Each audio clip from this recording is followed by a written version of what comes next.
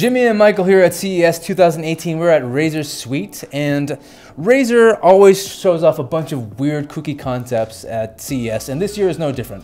Michael, can you tell us what we're looking at here? Right here is Project Linda, which acts as a dock for the Razer phone.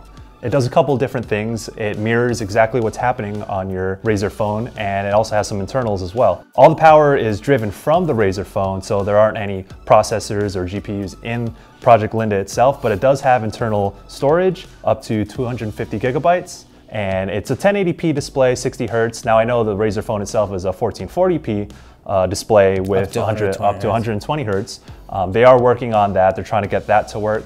Uh, but the, like I said, there aren't any um, power internals inside of the Project Linda itself, but it does have internal storage and it has a keyboard obviously as you can see. It also has USB ports, so you can plug in mice into Project Linda itself and the phone will recognize that so you can use uh, an external mouse because the phone also acts as the trackpad.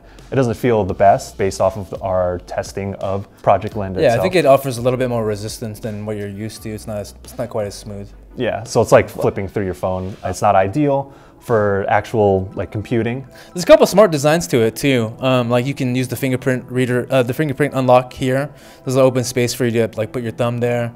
And you know, thankfully the the phone has like awesome speakers. So the, basically this device just leverages that, and it kind of comes together in like a nice sort of package. And this is like the first time that I've really seen a major uh, Android laptop. I think most mm-hmm. laptops from like that use Google OS use like Chrome or something like that. Yeah. So this is kind of interesting. You know, whether or not it actually comes out, you know, like time will tell.